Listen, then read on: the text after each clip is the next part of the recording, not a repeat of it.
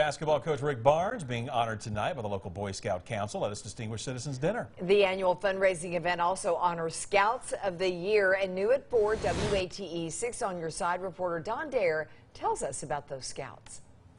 Okay, so this is our first Wind City Tower. And now Miss Katie and I are going to apply wind to this tower. Remember we talked about the force of wind? At Clayton Bradley Academy in Maryville, it's after school, and each Wednesday these fifth graders gather for their STEM lab. MJ Brooks has been a STEM scout for three years. In this session, lab leader Stephanie Farrell is teaching a bit of engineering and wind dynamics.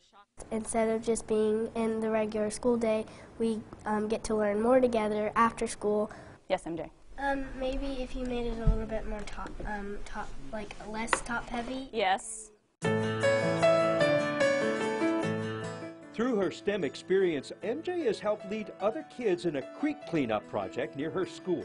We pick up trash and we take trash bags for 15 minutes of every lab and we pick up as much trash as we can. There's also an event called Pistol Creek Day.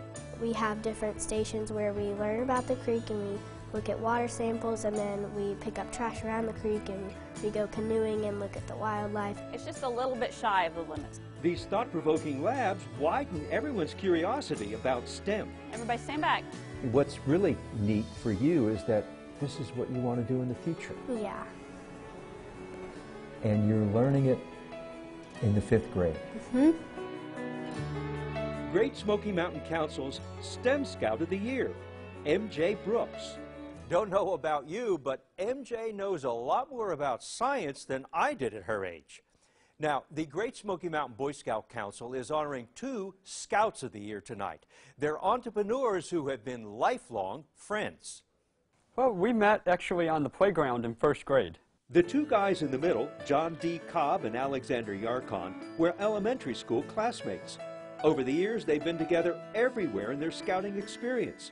Since middle school, John D. and Alexander have attended separate schools but remained in the same scout troop. We still saw each other every Monday at our uh, meetings. We're in the same troop and the same patrol, and we've sort of tag teamed on a lot of the things that we've done in Scouts. What they learned in Scouts was leadership and service to others. A few years ago, they teamed up with the Knoxville Chambers Young Entrepreneurs Academy. Working as a team, they put their minds and energy together and created a website Refugee Like Me.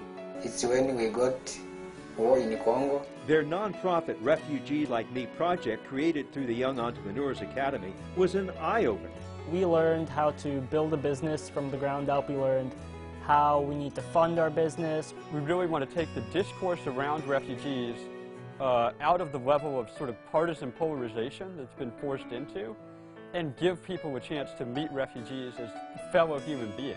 With their project, they earned a trip to Rochester, New York, and returned to Knoxville with an impressive honor. We were national semifinalists for the Young Entrepreneurs Academy. I'd say the biggest thing about scouting is that it gives you a chance to take a leadership opportunity. I mean, can you name another organization on this planet that will give a 12-year-old complete control over whether or not you have enough to eat this weekend? Teammates and Boy Scouts of the Year, Alexander Yarkon and John D. Cobb. Don Dare, WATE, 6 on your side. The Distinguished Citizens Dinner honoring the Scouts and Coach Rick Barnes is tonight at the Knoxville Convention Center at 7 o'clock. Lori?